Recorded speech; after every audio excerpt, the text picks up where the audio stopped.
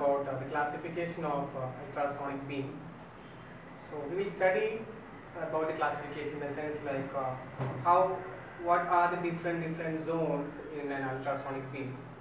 Okay, so let me draw a figure of this ultrasonic beam.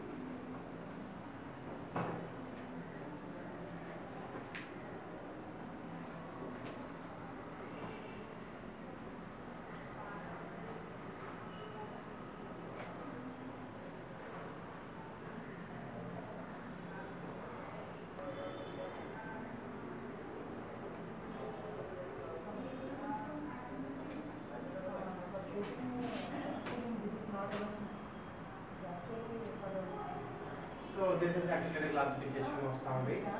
Um, you can actually classify the sound waves into uh, actually uh, ultrasonic sound waves into uh, or the ultrasonic beam into three different zones. First one is the dead zone, and the second is uh, near zone, and third one is far zone. So how all these zones are created? All these zones are actually part of your ultrasonic sound waves, and this ultrasonic sound waves is actually uh, created uh, or produced by a crystal. So actually how this crystal produces this energy is that this crystal is actually actuated by electric energy and uh, due to that electric energy the crystal actually vibrates and uh, all these vibrations uh, vibrate after vibrating the crystal actually transfers this electric energy into the mechanical energy. So this is the mechanical energy which is called as waves.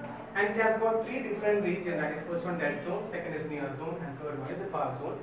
And uh, what is dead zone means uh, it is referred to as crystal ringing time. Ringing time is crystal vibration time. Each of the crystal uh, inside uh, any kind, kind of probes or transducer will be having its own crystal vibration time. Okay. And uh, so because and, and the sound and whatever the distance traveled by a sound wave under that crystal vibration time is referred to as the dead zone. So you can't get any kind of defects uh, in a dead zone. So dead zone is actually you don't have to worry about dead zone. You don't you won't get any kind of defects in your uh, dead zone. Okay, next is near zone. So in near zone, uh, actually uh, the intensity or the strength of your sound is actually varying each and every time. It doesn't have any consistency. So because of that, you will be, uh, you can find that any defects inside the near zone actually it will show as sometimes as a bigger defect or a larger defect. Sometimes if you measure it, you can see it as a very small defect. So it means that you will get confused of the defects inside the near zone area. There is no consistency uh, in showing in, in showing the uh, size of the uh, defects over there. So actually we say we won't get any defects inside dead zone also and also near zone. Okay. So next one is the far zone. So what happens in the far zone is actually uh, the uh, sound waves under the far in the far zone region is actually decreasing.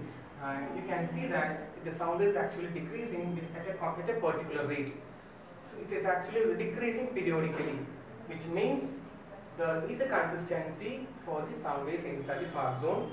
So, uh,